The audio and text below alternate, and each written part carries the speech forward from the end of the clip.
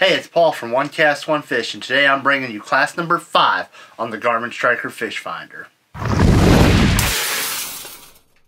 Now, class number 5 is going to be a continuation of class number 4, where we're going to be covering more of the Garmin Striker sonar features. So if you haven't already, be sure to check out the other classes in this series. In today's class, we're going to be looking at how to adjust our range, zoom, gain, and we're going to look at our sonar frequency selections. I'm also going to be showing you a trick on how to pause your sonar. Now throughout this video I'm going to be referencing other videos I've done in the past that are full of great supplemental information. From the home screen, scroll down and select traditional sonar. This will bring us to the traditional sonar screen. Now let's press the menu key. This will bring up the menu options for the traditional sonar screen. Here you have the ability to adjust and change settings for your range, gain, frequency, zoom, overlay numbers, and sonar setup. Now for this class, we'll be covering range, gain, frequency, and zoom, as we looked at sonar setup and overlay numbers in class number 4. The first feature we're going to discuss is range. From the traditional sonar menu, scroll down and select range. Here you can adjust the range of the depth scale that appears on the right side of your screen. You can either set your depth range manually or allow the fish finder to automatically adjust the range by selecting auto range. I rarely ever adjust my depth range manually because in my opinion it's just way too much work to consistently adjust the depth range as the bottom contours change consistently. And without proper adjustment, it can lead to issues like this with your sonar image.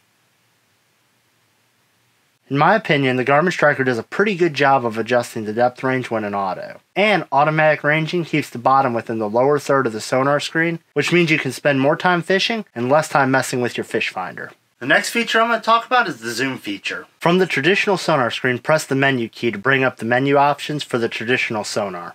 Now scroll down and select zoom. Here you'll see you have a few options for zooming in on your sonar screen. No zoom, bottom lock, manual, auto, and split zoom. Let's start by scrolling down and selecting bottom lock. Bottom lock is going to lock the screen to the bottom based on your depth selection. However, it's only going to show that depth range. And again, in my opinion, without consistent adjustment, this zoom option can be prone to display issues on your sonar screen. Back at our zoom menu, scroll down and select manual. With the manual zoom selection, you have the options to adjust the zoom and depth. Now as we adjust our zoom, you'll notice the box on the right hand of the screen changes size to represent the area of your zoom. And adjusting your depth will move your zoom box within the water column. Back at our zoom menu, Let's scroll down and select auto. Now with auto zoom, again, you have the ability to change your zoom window size, but the biggest issue with the auto zoom is that it uses the bottom as the starting point for your zoom. So again, your zoom is always locked to the bottom. This can be great if the majority of what you want to view is located near the bottom, but this isn't always the case. Back at our zoom menu, scroll down and select split zoom and turn it on. With the split zoom, the screen will be divided in half, with one half displaying the traditional sonar and the other side showing the zoomed view. If you look at the non-zoom side, you'll see that the zoom window can be adjusted in size and depth. And as our zoom window is adjusted, we'll notice that our zoomed area on the left of the display screen also changes.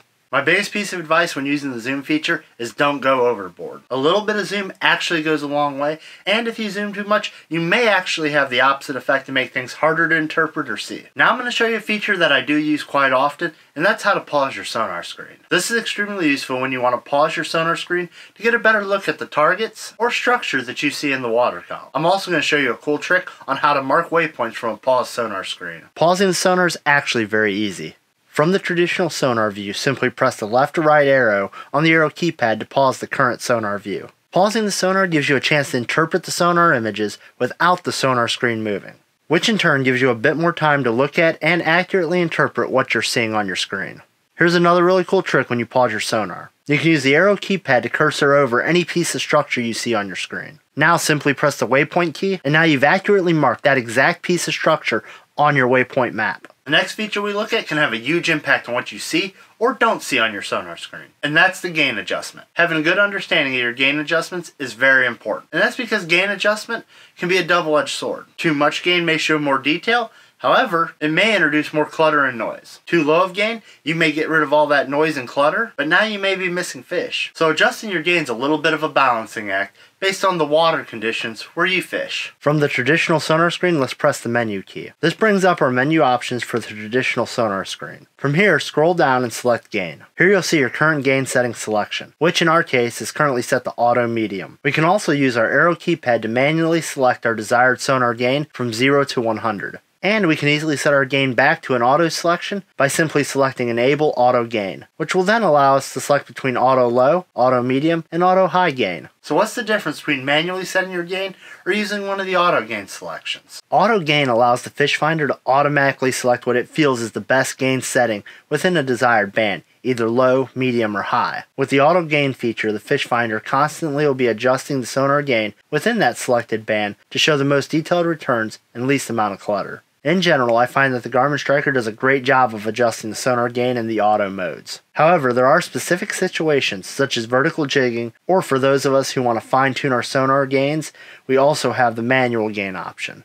The manual gain setting will allow you to adjust your sonar gain in increments of 1, from 0 to 100. Manually setting your gain will allow you to fine tune your sonar for your specific water conditions. And I also find it very useful when vertical jigging. I choose manual gain settings for when I'm vertical jigging for consistency. And that's because in auto, the fish finder is going to be continually adjusting the gain based on current conditions. And sometimes it might adjust the gain to a point where you lose your jig on your screen. Now I'm going to give you a few tips for adjusting your sonar gain to help you get the best image quality possible. Now what I'm going to show you aren't steadfast rules, but they're a great starting point to help you find the ideal gain settings for your water conditions.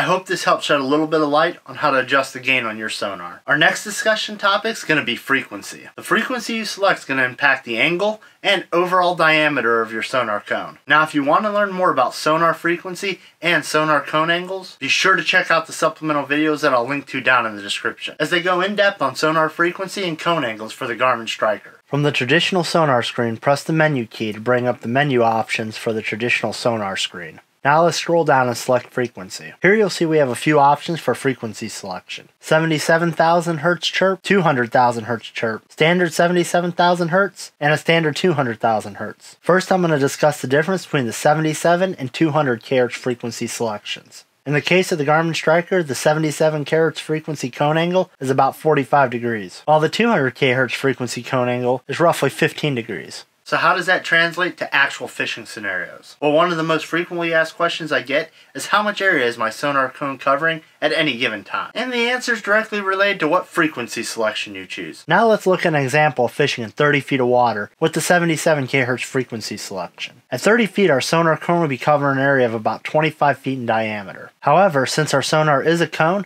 our coverage is actually only about 16.6 feet at 20 feet of water and roughly 8.3 feet in 10 feet of water. Now let's look at how it compares to the 200 kHz frequency selection.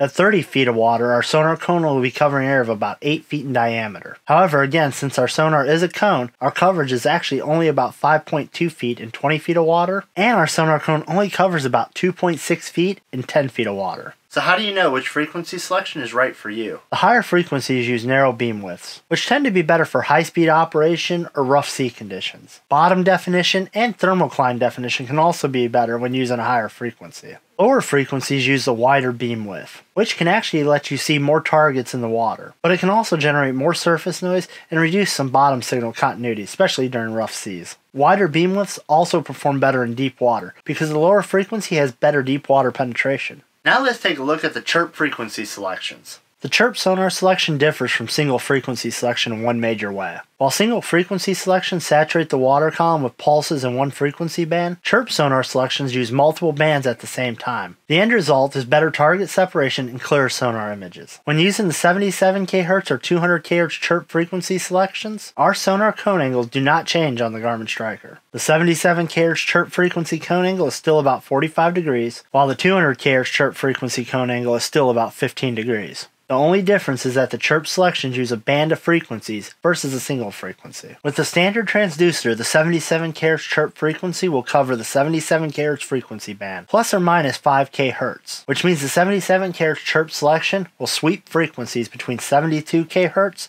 and 82 kHz, while the 200 kHz chirp frequency selection will cover the 200 kHz frequency band, plus or minus about 5 kHz. This means the 200 kHz chirp frequency selection will sweep frequencies from 195 kHz to 205 kHz. As you can see, the chirp sonar frequency selection definitely puts more energy into the water column, which will help you get better target separation and clearer sonar images.